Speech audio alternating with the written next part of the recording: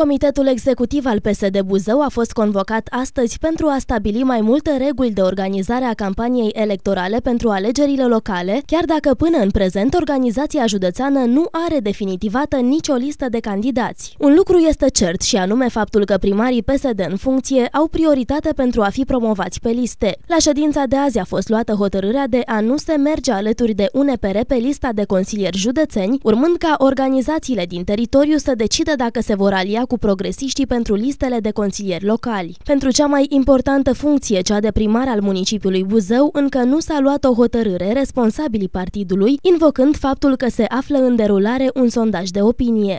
Pentru funcția de primar, momentan am făcut uh, profilul de candidat, așteptăm sondajul să iasă și vom hotărâ. Constantin Boșcodeală va fi? Dacă domnul primar Constantin Boșcodeală va câștiga procesul, sunt fer convins că dânsul va dori să candideze din nou sau nu va dori. E cel mai în măsură. Asta așteptăm uh, totuși sentința dânsul. Cât despre tinerii ce ar urma să fie promovați pe listele de candidați de la alegerile locale, nu există deocamdată certitudini. Se strâng CV-uri, să știți. Avem foarte mult. Am și pe Facebook.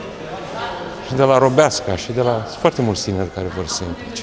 De asemenea, la ședința de azi, mai multe voci din sală au cerut explicații conducerii PSD Buzău în legătură cu întârzierea demarării lucrărilor de reabilitare a podului de la Vadu Pașii. Nu, de ce nu s-a finalizat? Și domnul președinte al Consiliului Județean a intervenit, a spus că partea ce a ținut de Guvernul României de finanțare a acestui pod și de a avea contract pe acest pod cu uh, Ministerul Dezvoltării, acest lucru s-a, există și finanțare și contract din partea Guvernului României.